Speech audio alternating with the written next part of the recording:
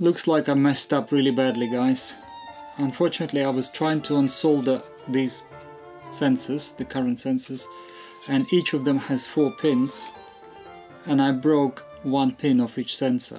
This was me a week ago. I was working on converting Tesla motor to the open inverter board had made the mistake at the final stage. At this moment I thought, oh no, the project is dead. What if those sensors are custom parts built specially for Tesla?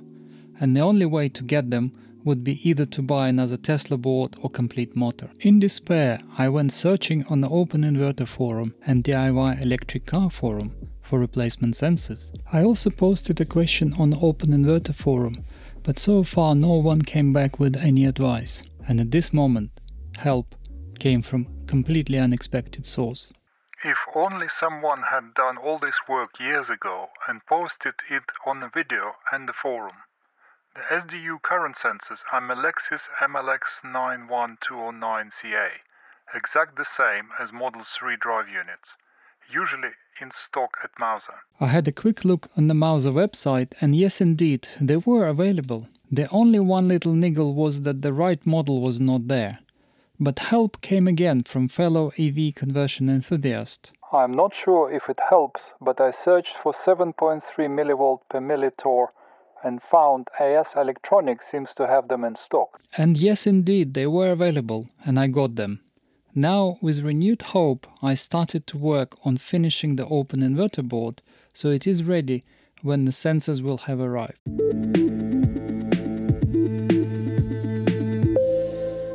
When I ordered the open inverter board for the Tesla small drive unit, a few components were missing. Apart from the connectors of course, those were PWM driver and FETs that drive the pre-charge and main contactor. I have started from PWM driver, as the smallest component it was fairly easy to solder. This one has a decent spacing between IC legs. At this stage I decided to actually test the board to ensure that both supply voltages are present, as I did not want to do any more soldering and find out that part of the board is not working. And also I wanted to make sure that I can program STM processor as well. I quickly hooked up 12 volt wires and connected to my power supply. So we are not consuming any current and power is zero. So this means that our voltage is not getting into our system.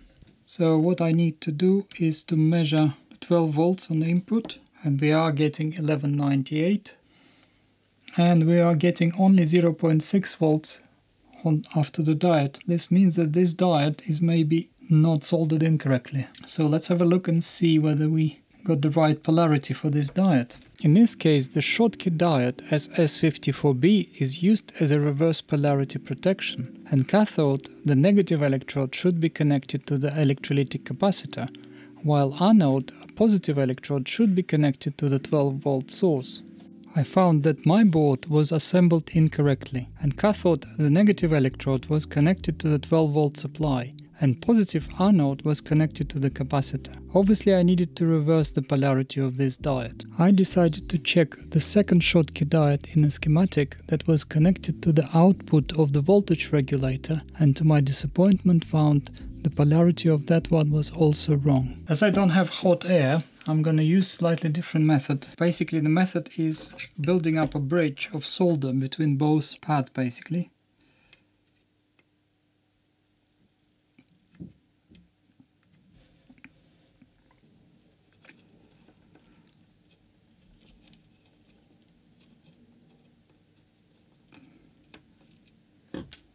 There we go.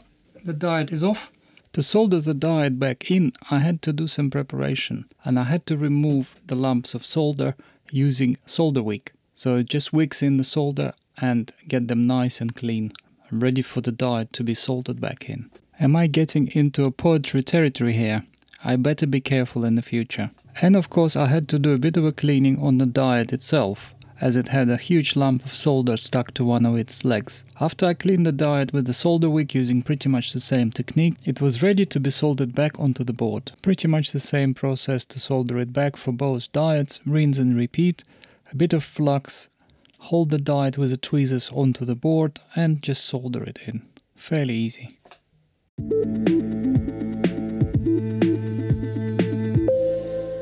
Right, let's give it a try power supply is on. I'm now enabling the power and it's working. LED is on.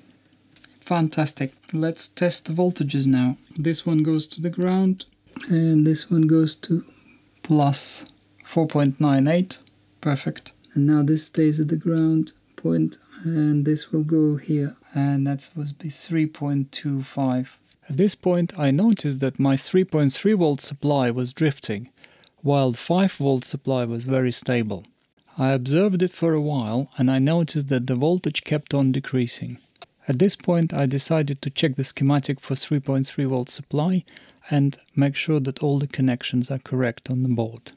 Right, I think I found another mistake. I suspect the reason why the 3.3 volts is dropping is because this marked side of the tantalum capacitor should be plus and it should be connected to pin 2 of the regulator here so it's 3.3 volt and in this case and then the plus is actually connected to JTAG and actually then goes into the supply voltage for the STM processor.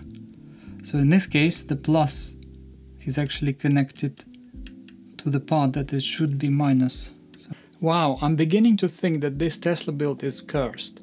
And I have to say that all my previous builds went rather smoothly. But in this case I'm enjoying solving these little problems and moving on to the next one. I expected that the negative side of the capacitor should be connected to the ground, but the via that was on the negative side of the capacitor electrode was seems to be not connected to any of the ground points I tested. So I've decided to do my own little modifications and reverse the capacitor polarity and have a link wire connecting to one of the ground points. I removed the capacitor using the same method as I used for the diode and soldered back in in reverse polarity connection and after that I've added another link for the wire to connect to the ground point on the JTAG connector. Our pin is a bit more grounded now. Okay, now power supply is on and first 5 volts 4.97 and now 3 volts 3.28 and it seems quite stable. Excellent another problem solved. I'd like to say a big thank you to Damien Maguire for helping and advising on a sensor model in the moment of the great distress for me, and big thank you to Ali Bro for pointing out where I can source the right model. Thank you for watching, I hope you enjoyed this episode. Please like if you did, please subscribe if you want to see more, and more Tesla shenanigans next week. I will see you then.